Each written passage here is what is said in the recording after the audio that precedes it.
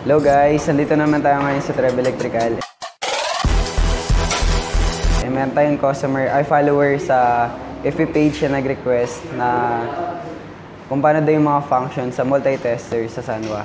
So ngayon papakita natin siya. So shout out kay Sir Janelle Morala. So ayan. So ngayon papakita natin yung mga function ng multi-tester. So ayan, unboxing na rin natin siya. So ito yung Sanwa multi-tester natin.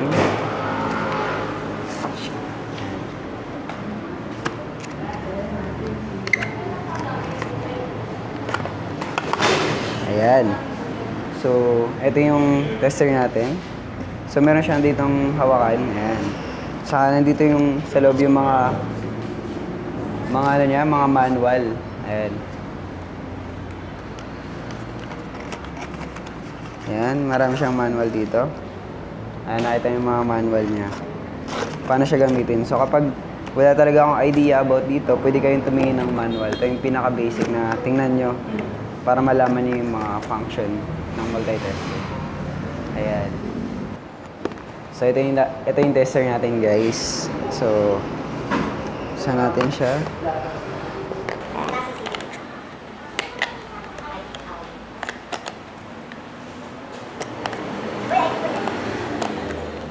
So, ayan. So, dito, meron na siyang kasamang probe.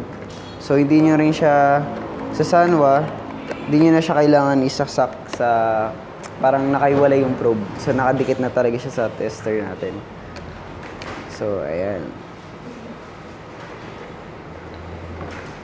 Ayan, ito yung probe niya. Yung probe niya, ganito siya kahaba. Ayan. So, dito, meron tayong mga, ito yung mga, ano dito, functions. Makikita nyo, ayan.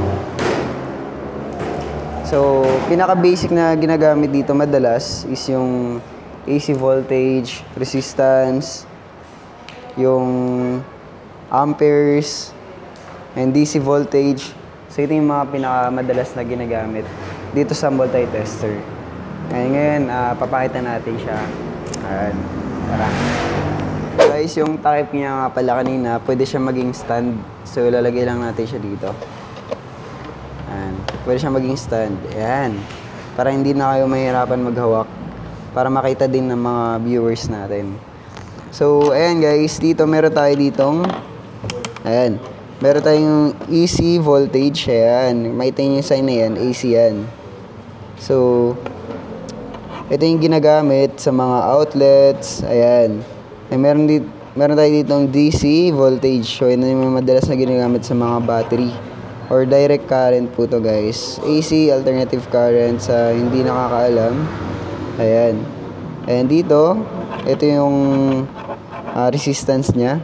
Ayan, ginagamit naman to sa mga resistor. Ayan. E meron tayong ampere dito. Ayan, para malaman nyo rin mga amps. Okay. So, isa-isayin natin. So, unahin muna natin yung AC natin. AC voltage. Ayan.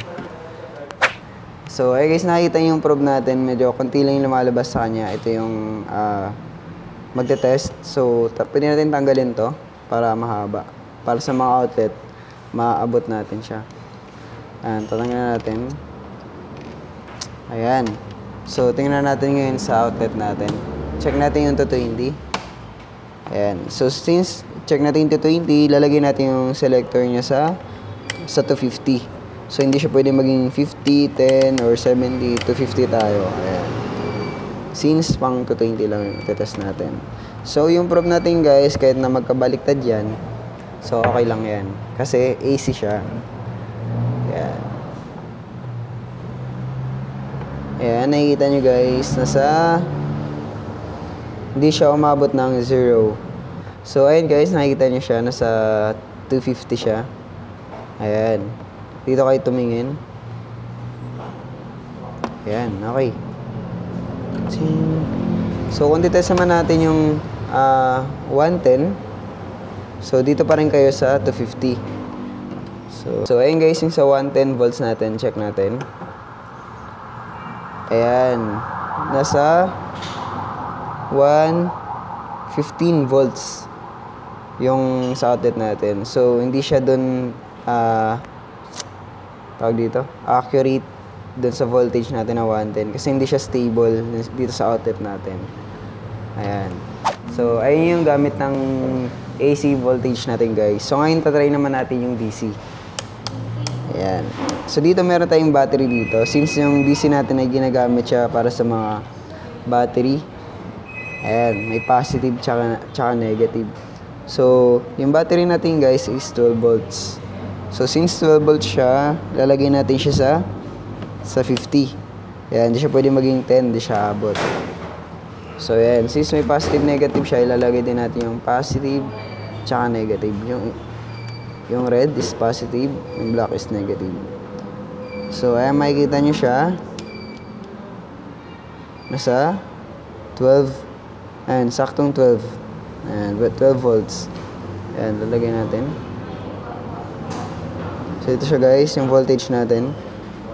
10, 11, 12. Ayan. Nakikita niyo siya. Ayan, okay? Okay. So, sample pa tayo na isa pang battery.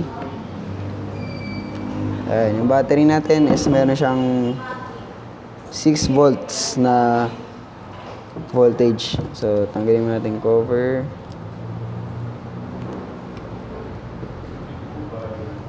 Ayan. So, since 6 volts lang siya, lalagyan lang natin siya sa 10. Ayan, sa 10, 10 volts. Ayan. So, positive tsaka negative ulit. Huwag niyo kakalimutan.